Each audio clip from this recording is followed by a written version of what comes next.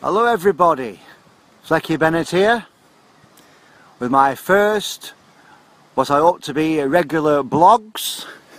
And today I find myself walking around the back streets and the passageways of uh, Gorton where I've made my home for the last 20 years. And I wanted to bring your attention to this. Not this but this. This is the uh, Gorton Cemetery which I never knew even existed till about oh, a few months ago really. It's a beautiful cemetery and but the main reason why I came down here in the first place was because of this. You may be asking what is it? What is it indeed?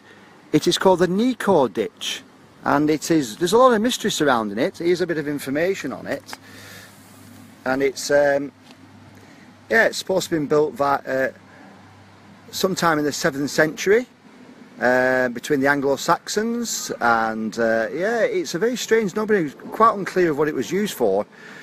But I like the legend of it myself you know I'm all for legends and spooky stories but one legend, legend has it that it was built the Nico ditch was completed in a single night.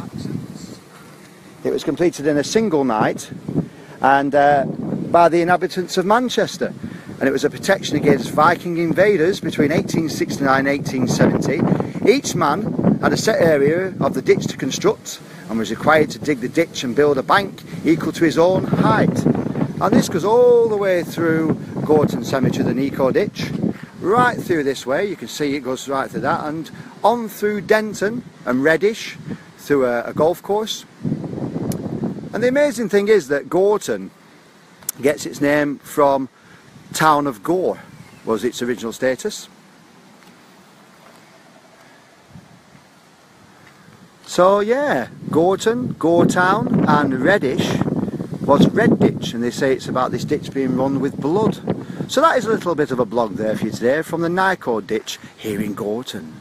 Thank you for watching, bye now.